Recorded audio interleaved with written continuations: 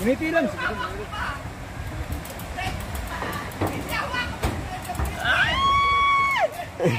Set out ko. Ay. Ito na.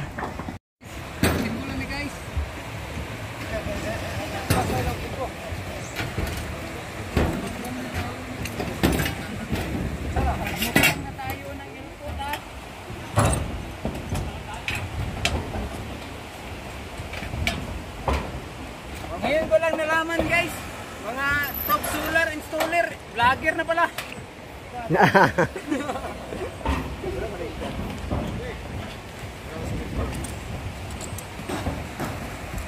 Nanain nyo guys sa kahoy ang natumtumban guys. Ha. Nanain nyo guys, nanain nyo.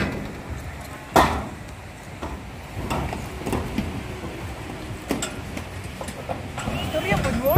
Ito mo nilang dua ka vlog. Tinara. Hey guys, yung mga... Ito na, ito na. Ito na kami sa taas. Imbol na may. Nawag na mo? Oh, kaya mag-vlog mo na sila magkuha ng ng panel, magtunod. Wala gyud ni kikuan ni. Gatag galang prelims. Yan, yan, yan, relax na, relax.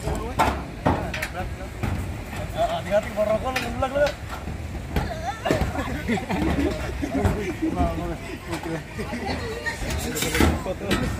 trabaho nga to.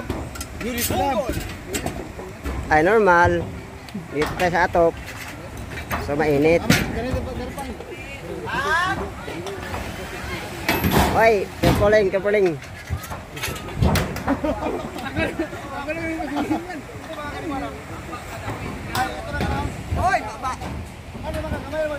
Ambil ang pagkape. Ito, ito. Ito isa. Mar. Kailangan.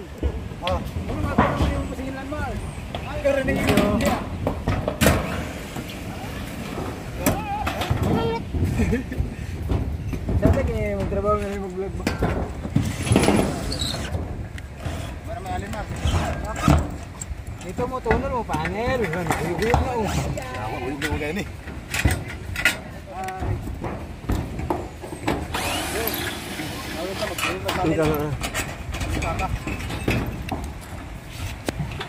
Shout out din ko sa akong sawa si Mijin. Si Mizin din, Mizin. Ah, Mar, normal. Pwede pa shout out. Shout out.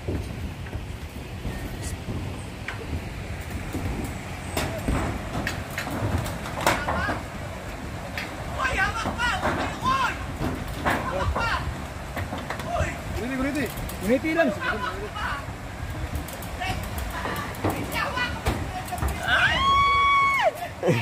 Shout out din ko. Ay.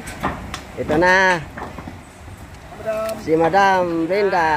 Umakyat na siya, umakyat na siya.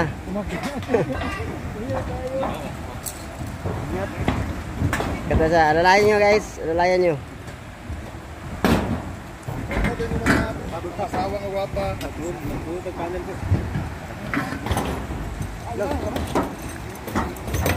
Mayang adlaw ka ng tanan. Nandito ako ngayon sa aming rooftop. Rooftop, dito kami ngayon sa buong kasi nag-install po kami ng solar lights. Ay, solar lights, na solar panel pala. Ayan, magpapasolar kami dito. At sa lahat ng mga nagtatanong po, naka mention ko dyan saan kayo pwede mag-inquire about magkano lahat to. Basta itong binayaran ko ay, itong package na binayaran ko wala siyang battery para mag-store ng kuryente. This is only 170 plus na ano din hindi, hindi siya yung mahal ka masyado kasi wala siyang battery. So meron naman mga choices kung gusto niyo po ng ganon. So ito pag gusto ko nilagyan siya ng battery, pwede naman siya. So under surveillance pa to. Under surveillance, titingnan ko muna kung magkano na lang yung kain ng kuryente. Kasi ito pang ano to, yung pag may araw, under siya lahat. Yun yung gagamitin namin solar. Tapos pag wala ng araw, pag nag-off na siya, balik kami doon sa Sipalco kung saan mas lesser na siya kasi mas grabe yung consume namin pag araw. Pag gabi wala naman masyado. So, yun. Pero kung gusto namin ng hanggang gabi, solar pa rin siya, kailangan nyo bumili ng battery para storage ng ng energy while mainit yung panahon. So pag gabi, nag-store siya, pwede na yung gamitin. So medyo may kamahalan kasi yun. Siguro mga 50,000 yung battery, di ba? Tama ba? Mga ganon. Pero 3 to 5 years or 5 years po yung ano, um, kailangan nyo ulit magsa mag ulit ng battery kasi di ba ang battery na, na ubus naman talaga siya. So ito pili ko is wala siyang battery para mag-store. So, malesen lang yung kanyang gastusin or bill ng kuryente namin. And tingnan natin ang magkano ang bawas niya. Happy kasi ngayon ako nakapag-issue ng ganito. So, tagal-tagal talaga. So, pag maganda yung ano namin dito, pag maganda yung dating dito, lalagyan ko rin dun sa bahay namin sa kabila para yung mga kapatid ko, wala na rin silang gastusin masyado sa kuryente. Pag maganda lang, pag hindi, sisiraan ko po tong solar. Charot lang. Charot lang. First time ko to, so sa lahat ng mga naka-solar dyan, comment naman kayo, advice naman kayo kung maganda ba to or good ba yung ginawa ko dahil nagpa-solar tayo na panel.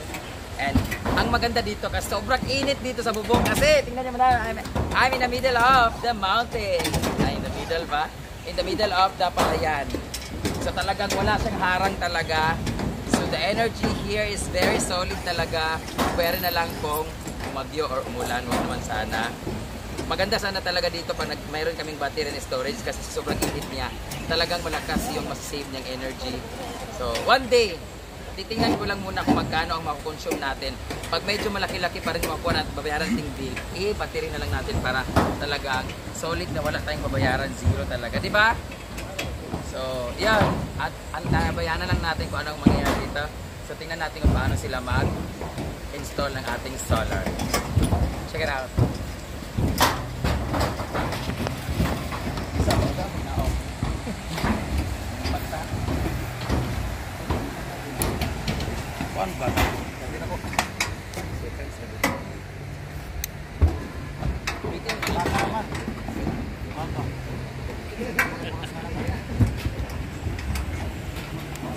Hi guys, welcome to Madam.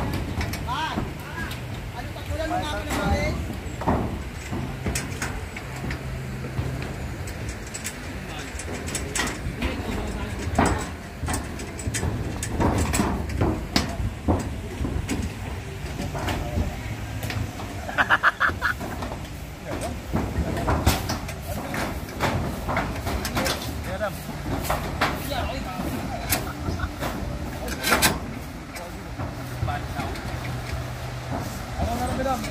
Ano na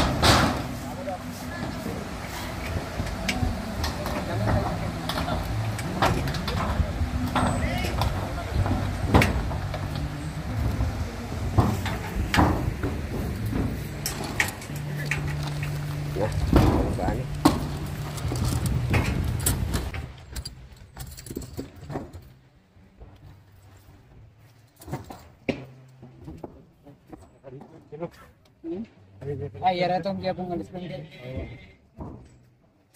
Renben! Daryl, Daryl, on the mix, on the road. Alalayin nyo, alalayin!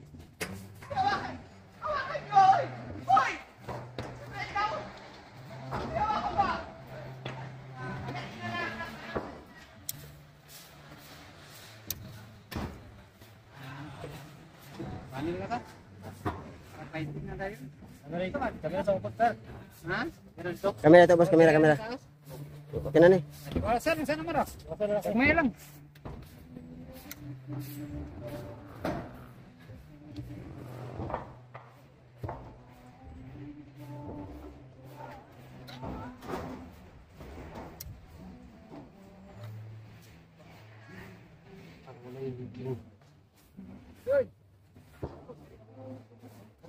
Okay, dali ah.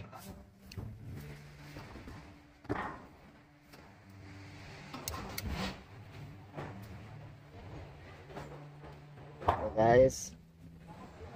Napaka ng radya ng sealant guys para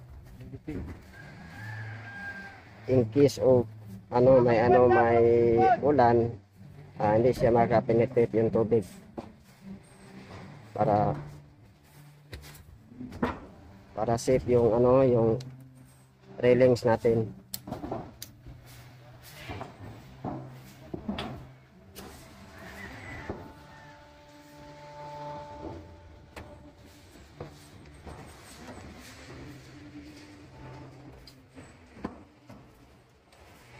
Ito na tapos ng railings natin. Tapos susunod naman ito yung panel. Ito na lagyan na natin ng ano ng railings dito ilagay yung panel, panel board. Ito. Repairing na to, guys. Oh, ito namang mga kulokoy, guys, oh.